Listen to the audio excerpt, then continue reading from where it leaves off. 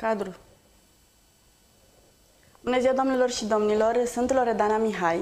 Astăzi uh, l avem invitat alături de noi pe prefectul județului Constanța, Silviu Coșa. O să rog pe colega mea să pună cadrul și, și pe mine ca să fac introducerea. Mulțumesc! Uh, vom vorbi astăzi despre situația uh, inundațiilor și tot ceea ce s-a întâmplat în județul Constanța în urmă cu o săptămână, mai exact sâmbătă, care au fost localitățile cele mai afectate.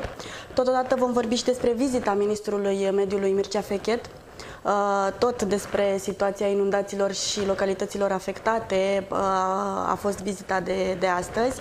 Uh, despre educație, niște inițiative ale prefecturii foarte importante pentru elevi, totodată despre construcții legale și despre politică, un ultim subiect. Bună ziua, domnule prefect, mulțumim că ați venit Bună ziua, vă astăzi. mulțumesc și eu pentru invitație. Știu că ați discutat uh, și ieri cu colega mea, Alexandra Cucu, despre uh, bilanțul uh, inundațiilor din județul Constanța, însă astăzi vreau să vorbim și despre vizita ministrului cu această ocazie.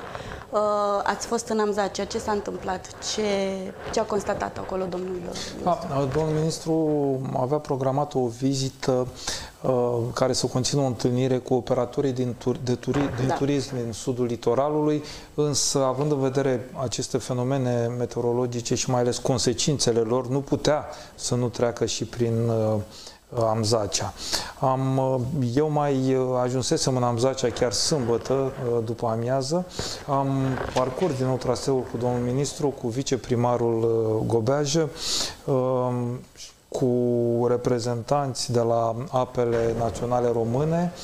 Directorul Raja, domnul Presur, a fost acolo pentru că Ehm, cu toate că au reușit să repună în funcțiune instalația de apă, aceasta nu prezenta toți parametrii ehm, necesari ehm, consumului de către populație. În această dimineață, la ora 6, m-a anunțat domnul director că apa este potabilă, așa încât m-au ajuns acolo pentru a umple instalația, ceea ce s-a și întâmplat. Concomitent, colegii de la Direcția de Sănătate Publică, la rândul lor, Uh, au luat câteva mostre astfel încât să facă analize, să convingă că totul este ok. Am intrat în casele uh, oamenilor împreună cu domnul ministru. Uh, da, este îngrozitor ce s-a întâmplat acolo. Totul în interior este distrus. Uh, uh, multe case aveau jos podea și aceasta a fost distrusă, a intrat în mol. Uh, chiar un locuitor îmi arăta cum a trebuit să sape undeva la 40 de centimetri în, în, în pământ pentru a reuși să scoată tot ceea ce uh, apele aduseseră. Uh, a fost și o neglijență, să spun, autorității locale pentru că uh, acel canal pe care trebuiau să se scurgă apele, ape care colectează tot ce plouă dinspre Mangalia până în zona Amzacea, uh, era colmatat, era plin de vegetație, după cum uh, v-am spus și ieri, printr-o uh, hotărâre a Consiliului uh, a Comitetului Județean de Urgență, a reușit să alocăm un utilaj al apelor române acolo. Utilajul a ajuns în această dimineață. Deja erau oameni din partea autorității locale care defrișau zona astfel încât să se poată interveni, să poată decolmata canalul și în cazul în care se mai întâmplă ceva de o mai au loc astfel de precipitații, uh, populația să nu mai fie afectată. Autoritățile locale vor fi sancționate pentru neglijența aceasta? Mm, nu știu ce să vă spun uh, în momentul de față. Nu avem un cadru legal uh, noi ca instituția prefectului. Rămâne ca alte instituții să constate dacă primarul și-a îndeplinit sau nu atribuțiile. Localitatea Amzace a fost una dintre cele mai afectate sau cea mai afectată localitate din județ în urma precipitațiilor? Din punct de vedere al cantității de precipitații, cea mai afectată a fost Vama Veche, însă și sudul litoralului, stațiunile din Mangalia, chiar și Mangalia, însă în Amzacea lucrurile au fost puțin mai dramatice și din punct de vedere al numărului de case afectate și al uh, capacității financiare uh, ale acelor oameni de uh, a înlătura uh, urmările acestor averse de ploaie.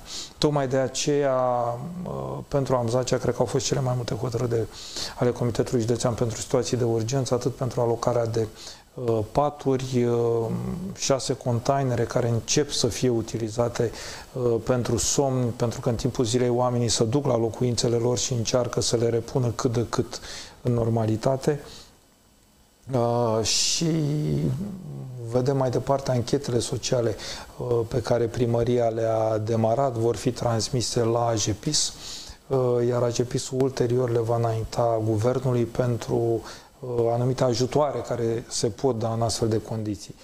Concomitent, începând de astăzi, Uh, comisiile constituite prin ordin de prefect au început să verifice rapoartele operative de pagube transmise de autoritățile locale, uh, astfel încât sperăm până la sfârșitul săptămânii să știm cu exactitate în cele 16 localități care au raportat pagube, care este situația, să trecem toată această situație printr-un nou comitet județean pentru situații de urgență și situația să fie transmisă guvernului care ar trebui să găsească resurse pentru că este un caz deosebit acolo. Da, la Amzace este o situație dramatică, după cum spunea și dumneavoastră, dar în cazul în care ar avea loc în următoarele zile sau nu știu, astfel de condiții meteorologice, ce se întâmplă? Adică... Nu vor mai avea loc la nivelul acesta, am înțeles că sunt niște fenomene cu o frecvență foarte redusă. În momentul de față începe decolmatarea acelui canal, din ceea ce au spus reprezentanții apelor române, durează undeva de până la o lună de zile, timp în care acel uh, utilaj special va acționa și va decolmata. Uh, între timp, uh, viceprimarul Gobeaju, care am păstrat permanent legătura și zi și noapte, în special pe problema Raja, pentru că e toți spălau instala, instalația respectivă, însă apa de ploaie fiind uh, infiltrat, uh, apăreau valori foarte mari al conținutului de bacterii, E. coli și așa mai departe. Uh, anchetele sociale se fac, oamenii erau în case, scoteau ce mai aveau prin casă, încercau să le usuce, trebuie să usuce și pereții din punctul ăsta de vedere, faptul că vremea este călduroasă ajută. Viața încet, încet uh, va intra în normal și acolo, însă, bineînțeles, nu fără multă durere. Uh, da, deci concluzia vizitei uh, ministrului Fechet legat de aceste tragedii din județul Constanța, în special în localitatea Mzace. Slavă Domnului, permis să vă contrazic, nu, nu am avut nicio victimă până în momentul de față. Da, deci, materiale, să spunem. Da, material, pagube materiale, da, bineînțeles că nu este ușor să treci prin așa ceva pentru cei care uh, au suferit, însă nu am avut nicio victimă și pentru asta rolul principal au avut pompierii și cei din autoritățile locale care au intervenit. Bineînțeles, Raja a avut vreo 40 de echipe pe teren, uh, în special în fâșia litorală și Enelul, pentru că uh, pompele Raja nici Uh, cele de evacuare a apelor uzate, nici cele de alimentare cu apă potabilă nu pot funcționa fără Corect, energie exact. electrică. În unele locuri s-a deplasat uh, generatorul, în altele cei de la Enel au intervenit, 23 august, Amzace a avut probleme și chiar prin Mangalia cred că au fost probleme cu alimentarea cu energie electrică, însă ele s-au uh, rezolvat până sâmbătă la prânz, nu mai era nimic deosebit, să spun așa toate entitățile s-au uh, Entitățile au reușit să se mobilizeze încă de vineri noaptea, le mulțumesc, le felicit și în mod sigur, din păcate, vom mai avea evenimente, că vor fi ninsori, uh, că vor fi ploi, că vor fi incendii. Dacă de fiecare dată se vor mobiliza în acest fel, uh, populația poate avea încredere că, pe de o parte, ce poate fi prevenit va fi prevenit, pe de altă parte, că salvatorii vor fi acolo. Acum vreau să vorbim despre construcțiile ilegale, să spunem așa, din Constanța și nu numai din Constanța, din județul Constanța. În vara acestui an, în iunie mai exact, ați atacat o autorizație de construire a blocului Marina Tower, cel bloc mastodon din, din zona cluburilor de fițe din, din Mamaia. Mai exact, autorizația este ilegală. Bine, știu că trebuie să mai așteptăm puțin până la primul termen al uh, procesului. Dar uh, astfel de anomalii, să spunem, uh, ați mai sesizat în ultima vreme? Știu că aveți foarte multe acțiuni pe această temă. Uh, nu noi suntem cei care sesizăm uh, uh, eventuale nelegalități în atribuirea sau punerea în practică a autorizațiilor de construire, este Inspectoratul de Stat în Construcții. El este singura instituție abilitată să ne sesizeze și okay. la sesizarea lor și doar la sesizarea lor scrisă Uh, noi uh, uh, putem iniția o acțiune în instanța de contencios administrativ prin care solicităm anularea respectivei autorizații de construire. Același caz a fost și aici. Inspectoratul de stat în construcții ne-a trimis procesul verbal de control, iar noi l-am valorificat prin înaintarea lui către instanța de judecată. Cazuri sunt mai multe. Uh, în momentul de față avem peste 120 de acțiuni în instanță pentru construcțiile la care Inspectoratul de Stat în Construcție a constatat nelegalități în zona Mamaia Nord-Năvodari. Uh, sunt uh, trei sau patru, pe, nu, două sunt pe Constanța, sunt cele două autorizații de construire atacate în instanța de contencios de la Corbu, dintre care Uh, pentru una dintre ele, instanța deja s-a pronunțat în sensul anulării, dar se află în etapa de recurs. Okay. Uh, și mai sunt uh, două la Mangalia, aveam și la Liman, însă acelea sunt suspendate până la clarificarea anumitor expertize judiciare solicitate. La Năvodari, pe lângă cele peste 120 pe care le-am atacat, mai sunt alte 50 care în momentul de față au fost transmise de către Inspectoratul de Stat în Construcții și noi adunăm uh, alte informații astfel încât să putem înainta instanței de contencios uh, o acțiune, lucru care se va întâmpla în cel mai scurt timp. Deci aveți treabă și pe partea aceasta? Din punctul acesta de vedere, din păcate, dar Uh, eu aș fi foarte bucuros ca autoritatea locală, pentru că aici relația noastră și a Inspectoratului de Stat în Construcții nu este neapărat constructorul cu dezvoltatorul, cu antreprenorul, este cu autoritatea locală emitentă autorizație. Nu e vorba de agenți economici care nu au respectat neapărat condițiile de autorizare, Uh, este vorba de însăși emiterea unor autorizații care, din punct de vedere al ISC-ului, sunt nelegale. Din acest punct de vedere, mai multă atenție și mai multă rigoare din partea autorităților locale ar fi binevenită. Asta e ca un semnal de alarmă, așa să nu se mai emită autorizații. Decât de în condițiile specificate exact. de lege, cu toate avizele, uh, cu toți parametrii tehnici care sunt prevăzuți uh, de autorizație Uh, și cu tot ceea ce înseamnă un proiect și un imobil care să se încadreze și urbanistii, care să aibă uh, rețele de utilități bine dimensionate, pentru că am văzut, uh, cred că și în Vama Veche și în Năvodare, în mod sigur, este ceva cunoscut faptul că rețeaua de utilități în uh, zona Mamaia Nord-Năvodar nu face față și periodic ea devarsă pe faleză. Uh, sunt mai multe aspecte și nu este foarte complicat tot ce au de făcut cei care uh, emană aceste autorizații este să consulte legea, să o respecte. Uh, alte probleme din județ. Dăm un exemplu. Malul de la Cumpăna, ce se mai întâmplă? A, și plouat. Uh... Malul de la Cumpăna, uh, mulțumit uh, celor de la administrarea canalelor navigabile, în momentul de față este, putem spune că este în siguranță. Noi continuăm să primim rapoarte lunare vis-a-vis -vis de ceea ce se întâmplă și de situația de acolo, însă au fost uh, turnați uh, piloni de beton, malul a fost stabilizat, rămân în continuare și nu mi-aduc aminte să fi fost desfințate, rămân uh, acele, hai să le zic, fose neseptice pe care oamenii încă le mai folosesc, cu toate că ei sunt uh, arondați la rețeaua de canalizare și care produc infiltrații, acele infiltrații ajung în acel sol păcătos care e acolo uh, și în timp, uh, poate că acum mi se pare că totul e sigur, dar peste 5, 10, 15 ani nu știm ce efecte pot produce pentru că o astfel de pungă de apă în solul acela de loes uh, poate avea efecte imprevizibile la un moment dat. Însă în momentul de față nu există nicio primejde, sperăm că autoritatea locală să-și facă, să-și îndeplinească menirea în ceea ce privește punerea în legalitatea tot ceea ce dăunează caselor și malului respectiv. Este bine că dați vești bune, nu mai sunt probleme. Am întrebat pentru că uh, zile trecute a plouat și știm cu toții cum acel mal s-a prăbușit în urma precipitațiilor abundente.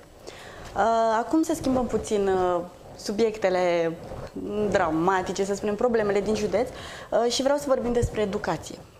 Știu și anul trecut, dacă nu mă înșel, acum câteva luni ați avut o conferință de presă uh, cu inspectorul școlar general, domnul profesor Sorin Mihai, despre bullying.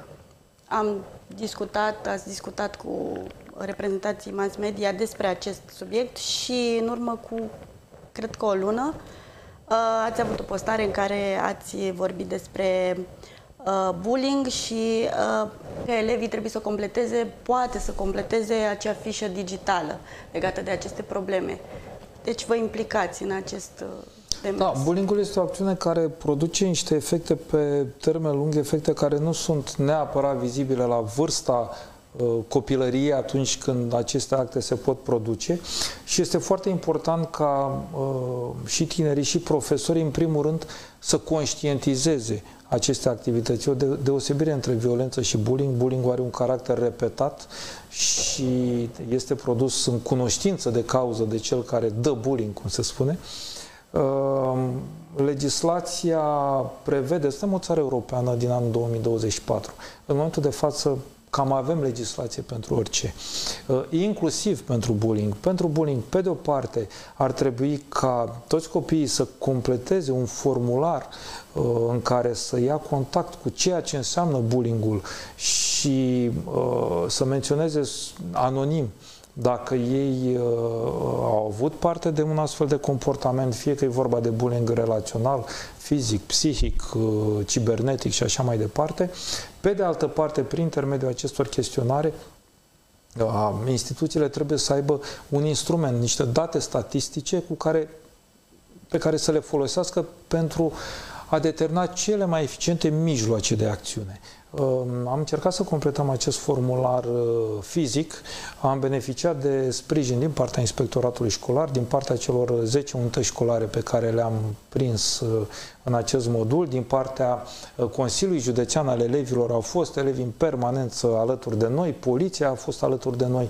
A durat undeva la, nici nu mai știu, 3 sau 4 luni de zile până a reușit să strângem vreo 3000 de formulare, drept pentru care am, ne-am folosit de acel City Inno Hub, hubul digital construit în jurul Universității Ovidius, am încheiat un parteneriat cu ei, gratuit ne-au acordat consultanță, au făcut un formular electronic, uh, drept pentru care în vreo două săptămâni au fost completate undeva la 17.000 de formulare în 150 de școli. Uh, vom continua acțiunea după ce începe anul școlar și copiii se reobișnuiesc cu școala.